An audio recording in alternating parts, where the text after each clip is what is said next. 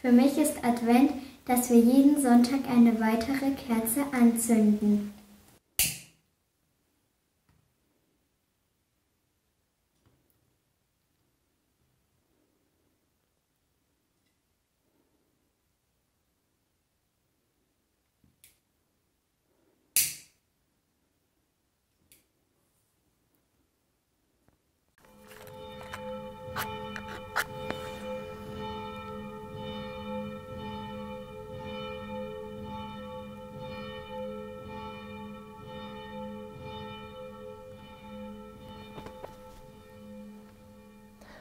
Herzlich willkommen zu unserer Videoandacht im Advent. Noch immer werden die Nächte länger und die Tage kürzer. Und gerade in dieser Zeit hat man das Gefühl, es wird gar nicht mehr so richtig hell draußen. Und morgen am Winteranfang ist sogar der kürzeste Tag und die längste Nacht. Und ich finde, gerade in diesem Jahr ist es noch dunkler und finsterer als die Jahre zuvor.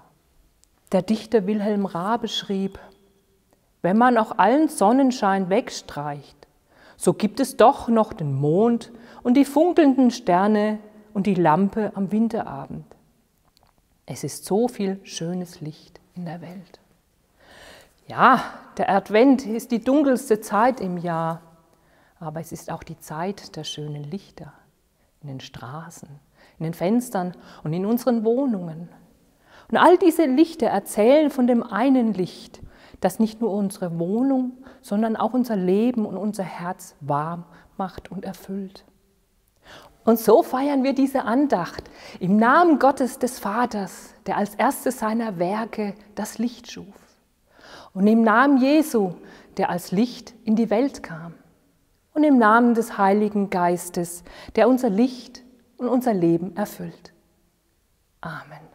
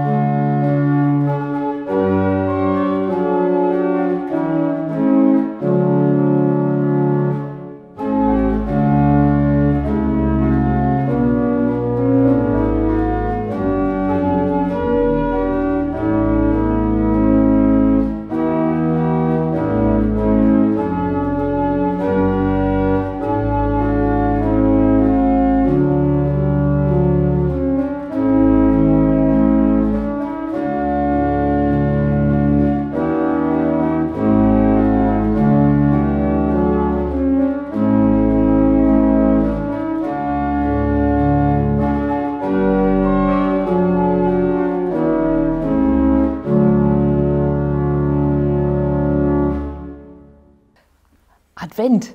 Das riecht für mich nach Zimt und Honig, nach Orangen und Kerzenduft.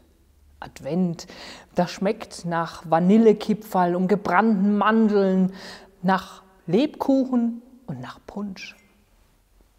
Advent, das heißt aber auch oft von einem zum nächsten hetzen, aber auch immer wieder sich Zeit nehmen, innehalten für eine Tasse Tee und ein gutes Wort. Sich besinnen auf das, was wirklich zählt. Und was bedeutet Advent für dich? Die Adventszeit war eine schöne Zeit. Dann sind wir auch zu den Nachbarschleuten gegangen. Die sind dann auch einmal zu uns gekommen. Die Nachbarschleute haben plötzlich auch versucht. Wir haben ihre auch versucht. Das war ja für uns in der Kriegsjahr schon ein bisschen eine heikle Zeit. Gab es doch nicht so viel Naschereien, andere, was man im Laden gekauft hat. Hat selber halt dann gebacken. Wenn bei uns die alte gusseiserne Fleischmühle ausgepackt wird, dann ist Adventszeit. Wir benutzen die Fleischmühle noch für Spritzgebäck. Da gibt es extra einen Einsatz dafür. Und beim Spritzgebäck, da helfe ich immer. Dreh und kurbel und drück so den Teig durch. Wird in der Adventszeit weihnachtlich geschmückt. Am Adventskranz wird Sonntag für Sonntag eine Kerze mehr angezündet. Und so läuft das ganze Leben auf Weihnachten zu. Das Ziel Weihnachten ist auch gar nicht zu verfehlen. Und es ist für uns ja auch kein kurzes Ziel von wenigen Tagen, sondern da beginnt die Weihnachtszeit und die dauert mehrere Wochen. Wir essen jetzt in der Adventszeit schon fleißig Plätzchen. Und wenn sie nicht bis Weihnachten reichen, dann wird die alte gusseiserne Fleischmühle nochmal ausgepackt und es wird nochmal gebacken. Die Vorweihnachtszeit im Waldkindergarten ist immer eine sehr besondere Zeit, die wir sehr, sehr genießen. Aber leider müssen wir auch hier manchmal feststellen, dass das Wesentliche, was eigentlich Weihnachten ausmacht, immer mehr in den Hintergrund gerät. Nicht selten haben Kinder zwei oder drei Adventskalender und werden überschüttet mit Geschenken zu Nikolaus und zu Weihnachten. Und um dem ein bisschen entgegenzuwirken, haben wir uns bewusst gegen einen Adventskalender entschieden und haben eine alte Tradition wieder aufleben lassen, den Wiechernkranz. Erfunden wurde dieser von Johann Hinrich Wiechern 1833. Er war Theologe und Sozialpädagoge in Hamburg und hat das Raue Haus mitgegründet. Es wurde eröffnet, um Kindern eine Betreuung zu bieten. Und natürlich haben sich damals die Kinder auch schon gefragt, wie lange dauert es denn noch bis Weihnachten? Und um ihnen eine Antwort geben zu können und es auch bildlich ein bisschen darstellen zu können, hat Wiechern den Wiechernkranz erfunden. Er hat ein Wagenrad genommen und hat darauf vier weiße große Kerzen angebracht. Diese sollten die Adventssonntage symbolisieren. Und dazwischen hat er sechs kleine rote Kerzen angebracht für die Werktage. Und jeden Tag wurde eine neue Kerze angezündet. Und so konnten die Kinder immer nachzählen, wie lange es noch dauert bis Weihnachten. Und diese Tradition machen wir wieder im Waldkindergarten. Ja, was ist mir wichtig in der Adventszeit? Advent heißt Ankunft. Ankommen im Advent in der Weihnachtszeit. Ich setze mich hin, komme zur Ruhe, trinke vielleicht mal eine Tasse Tee, lese ein paar Advents- oder Weihnachtsgeschichten und will Frieden schaffen. Frieden in mir und Frieden um uns herum. Vielleicht auch mal Plätzchen backen mit meinen drei jüngeren Enkelkindern. Das kann auch schön und friedlich sein. Das ist mein Beitrag zur Adventszeit. Hallo, ich bin der Laurens und ich und der Mats gehen man eigentlich immer zur Hilde. Und wegen Corona dürfen wir das jetzt nicht. Darum haben wir Plätzchen gebacken und bringen das der Hilde manchmal. Und da hat, darüber hat sie sich sehr gefreut und dass sie sich nicht so alleine fühlt.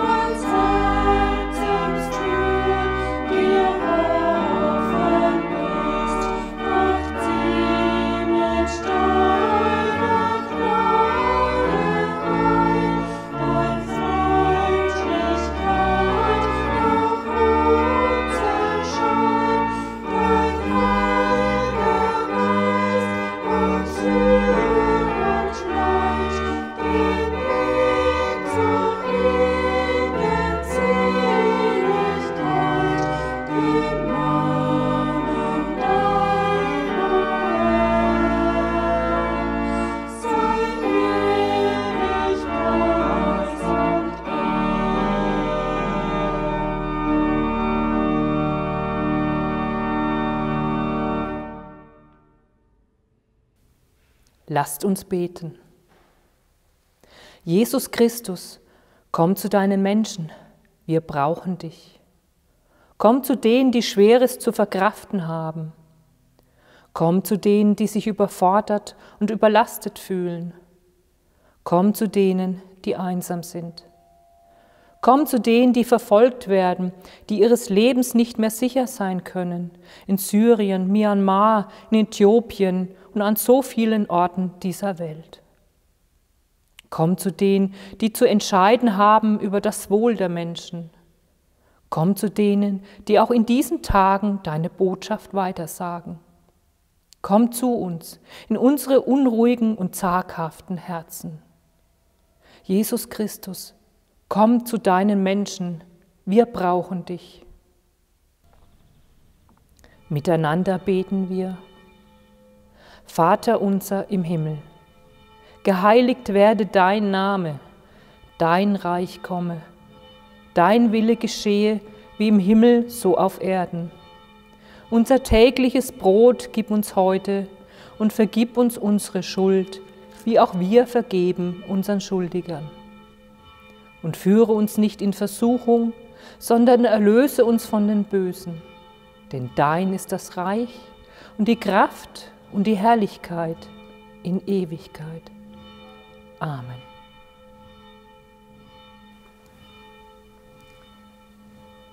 Ich wünsche dir, dass dir selbst in den dunklen Zeiten die kleinen Sterne auffallen, die glitzern und funkeln.